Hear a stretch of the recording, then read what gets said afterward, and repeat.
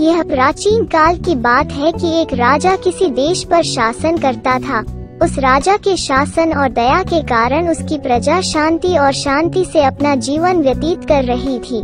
इस देश के लोगों के बारे में विशेष बात यह थी कि वो हमेशा था अपने स्वयं के मामलों में व्यस्त, जिससे देश अच्छी तरह से विकसित हो रहा था और लोग अच्छी तरह से संपन्न थे। उनका राजा न केवल बहुत बुद्धिमान और बहादुर था, बल्कि वो एक शांति प्रिय शासक भी था और वो अपने पड़ोसियों के साथ रहता था। राजा के पास एक छोटा राजकुमार भी था, जो लगभग ढाई वर्ष का था और कीमती आसनों को फैलाया गया था, ताकि वे आराम से चल सके और धूल आदि से सुरक्षित रह सके।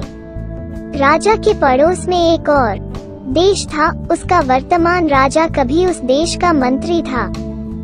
लेकिन फिर उसने इस देश के राजा को षड्यंत्र करके कैद कर लिया और स्वयं सिंहासन पर कब्जा करके राजा बन गया।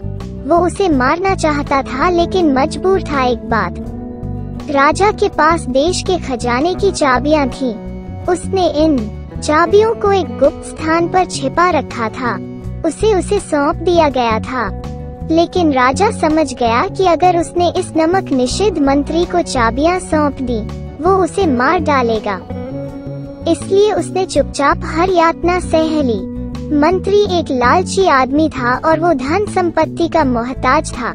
इस लालच के कारण उसने सेना की मदद से अपने आसपास के सभी छोटे राज्यों पर आक्रमण किया और उनकी सारी संपत्ति पर कब्जा कर लिया।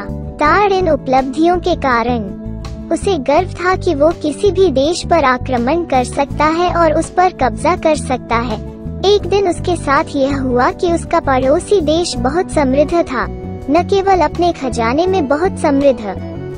धन है, लेकिन लोग भी हैं बहुत अमीर। यह सोचकर उसके मुँह में पानी आ गया और एक दिन उसने अचानक रात के अंधेरे में अपने पड़ोसी देश पर आक्रमण कर दिया। यह उसकी भ्रांति थी कि वो आसानी से पड़ोसी देश पर अधिकार कर लेगा। उसका राजा बहुत चतुर और विवेकपूर्ण था। इस हमले के जवाब में, उसकी सेना ने बहादुरी से इस चालाक राजा का मुकाबला किया और उसे न केवल हरा दिया, बल्कि उसके देश के एक बड़े हिस्से पर कब्जा कर लिया। इस जीत की खुशी हर तरफ़ एक उत्सव की तरह थी। राजा ने युद्धग्रस्त प्रदेशों में अपने राज्यपालों को नियुक्त किया और महल में लौटने की तैयारी शुरू कर दी। उसे अपने छोटे राजकुमार की बहुत याद आई। दिन खत्म हो गए। इस हार ने इस धूर्त राजा को चौंका दिया था, पड़ोसी देश पर कब्जा करने के बजाय उसने अपने देश का एक बड़ा हिस्सा खो दिया था। वो अपनी अपमानजनक हार का बदला लेने के लिए उत्सुक था। और फिर उसके दिमाग में एक बुरी योजना आई। उसने देखा कि पड़ोसी देश के लोग जीत का जश्न मनाने में व्यस्त थे। उसने स्थिति का फ़ायदा उठाया और अपने कुछ खास आदमियों को राजा के छोटे राजकुमार को महल से अपहरण करने के लिए भेजा। वो इस राजा से अपना क्षेत्र वापस ले लेगा और इसके साथ बहुत सारा धन। दूसरी ओर, जब राजा युद्ध के मैदान से अपने महल में वापस आया तो वहाँ एक कहाराम पिता था।